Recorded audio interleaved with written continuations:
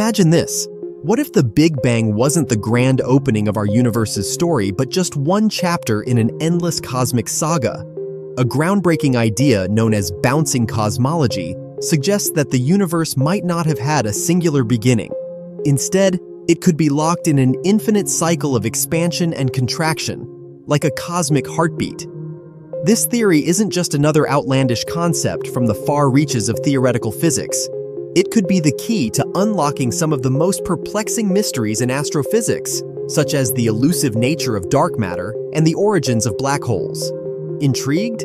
Let's dive into this fascinating theory, exploring how it challenges our understanding of the universe and what it could mean for the future of science. For decades, the Big Bang Theory has been the reigning champion of cosmological models. According to this idea, the universe began as an unimaginably hot and dense point that exploded outwards, leading to the vast, expanding cosmos we see today. But as successful as the Big Bang Theory has been in explaining a lot about our universe, it leaves us with some uncomfortable questions. For instance, what caused the Big Bang? Why is the universe so uniform on such a large scale? And what happens if we rewind the clock all the way back to that initial singularity? Can physics even describe such a state? Enter bouncing cosmology, a theory that flips the script. Instead of a universe that starts with a bang and just keeps expanding, bouncing cosmology suggests that the universe goes through cycles. First, it contracts, shrinking down to a highly dense state, but instead of collapsing into a singularity, a point of infinite density where the laws of physics break down, quantum effects cause it to bounce back into an expansion phase. This bounce triggers the birth of a new universe, with the process potentially repeating infinitely. In this cyclical model, what we've traditionally called the Big Bang isn't the beginning of everything. It's just a transition between two phases of a much larger ongoing process. This idea is revolutionary because it circumvents the troubling notion of a singular beginning. It also implies that the universe's history is far richer and more complex than we currently understand, with past cycles potentially influencing the physics of the cosmos we observe today. So, why should we care about this idea of a bouncing universe? For starters, it offers a way to address some of the limitations of the Big Bang model.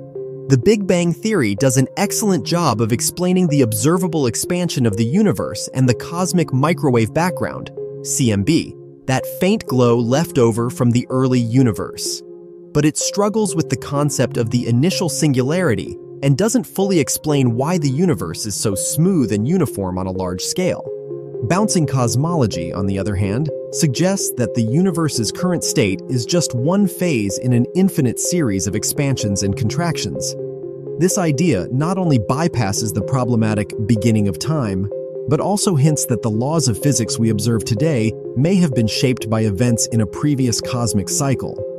In other words, the seeds of galaxies, stars, and planets we see around us today might have been sown long before our universe's current expansion phase began, passed down like cosmic heirlooms from one cycle to the next. One of the key ideas in bouncing cosmology is the concept of a non-singular bounce. In the Big Bang model, everything starts from a singularity, a point where density becomes infinite, and the laws of physics as we know them cease to function. But in bouncing cosmology, something quite different happens. As the universe contracts and reaches an extremely dense state, quantum gravitational effects kick in. These effects prevent the universe from collapsing into a singularity.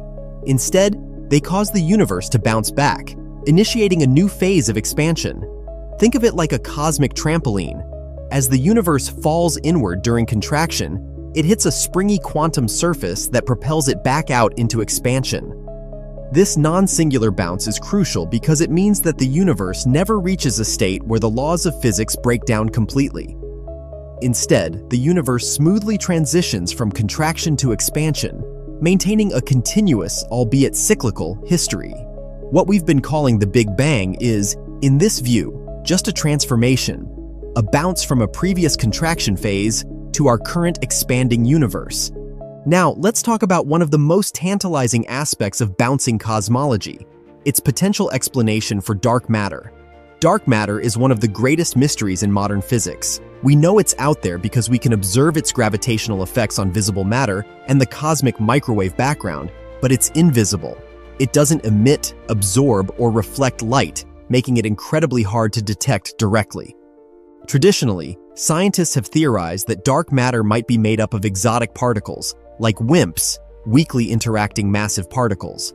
But bouncing cosmology offers an entirely different possibility.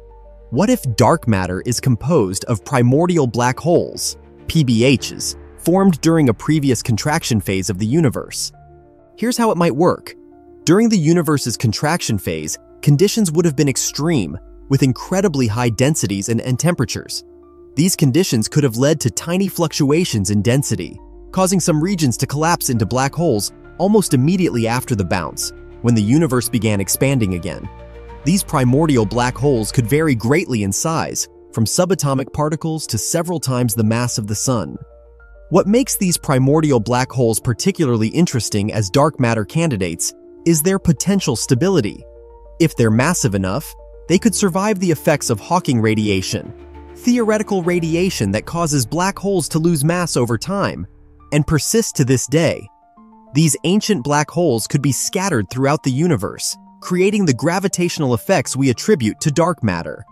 This hypothesis is especially exciting because it connects two major areas of modern physics, cosmology and black hole physics.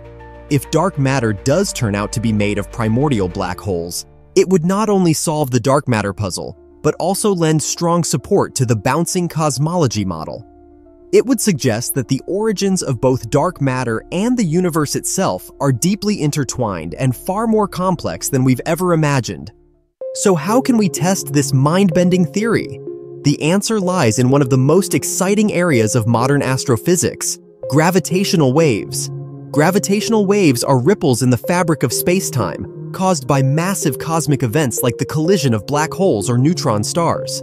They offer a new way to observe the universe, allowing us to detect events that are otherwise invisible. According to bouncing cosmology, the formation of primordial black holes during a contraction phase would have generated a unique spectrum of gravitational waves. These waves would be distinct from those predicted by standard cosmological models, providing a potential fingerprint of the bouncing universe. Next-generation gravitational wave observatories, such as the Laser Interferometer Space Antenna, LISA, and the Einstein Telescope, are being designed to detect these subtle signals. Unlike current ground-based observatories like LIGO and Virgo, which are primarily sensitive to high-frequency gravitational waves, from relatively recent cosmic events, LISA and the Einstein telescope will be able to detect low-frequency waves. These low-frequency gravitational waves are believed to have originated from much earlier in the universe's history, potentially dating back to the time of the bounce itself. If we can detect these specific gravitational waves, it would be transformative. Not only would it provide direct observational evidence supporting the bouncing cosmology model, but it could also confirm the existence of primordial black holes as dark matter. Such a discovery would challenge the current inflationary paradigm and offer a new understanding of the universe's structure and origins. It could even help bridge the gap between quantum mechanics and general relativity, two pillars of modern physics that don't always play nicely together in the sandbox of theoretical science. Scientists aren't just sitting around waiting for these discoveries to fall into their laps. Research in this area is advancing rapidly, with scientists developing new models and simulations to better understand how primordial black holes could form and persist over billions of years. They're also scouring data from existing gravitational wave detectors hunting for any signs of these primordial signals. While some intriguing candidates have been identified, more data and more sensitive instruments are needed to confirm these findings. The race is on to build the next generation of gravitational wave observatories and analyze the vast amounts of data they will produce. If these efforts succeed, we could be on the verge of a revolution in our understanding of the universe. So, what does all this mean for our understanding of the universe? If bouncing cosmology is correct, it could fundamentally change the way we think about the cosmos. It would suggest that the universe is not a one-time event, but part of an eternal cycle, with each bounce carrying forward the imprints of the past. The implications are profound. The universe we see today might be shaped by events from a previous cosmic cycle, and the seeds of future universes might be sown in the current one. This perspective also hints at a deeper interconnectedness within the universe, where everything from the smallest particles to the largest galaxies is part of a grand cyclical process. It's a humbling thought, one that challenges our notions of time, space, and existence itself. As we continue to explore these ideas, bouncing cosmology could provide answers to some of the biggest questions in science. It could explain the origins of dark matter, the nature of black holes, and the fundamental structure of the universe. And as we build more advanced tools to observe the cosmos, we may find that the story of our universe is far richer and more complex than we ever imagined. So, as we look up at the stars, we might start to see them not just as distant points of light, but as part of an ongoing cosmic dance, one that has been going on for eons and will continue for eons more. The universe, it seems, is not just expanding, it's bouncing, cycling through phases of contraction and expansion, creating and recreating itself in an eternal loop. And who knows, maybe one day we'll uncover the secrets of this cosmic dance and finally understand the true nature of the universe we call home.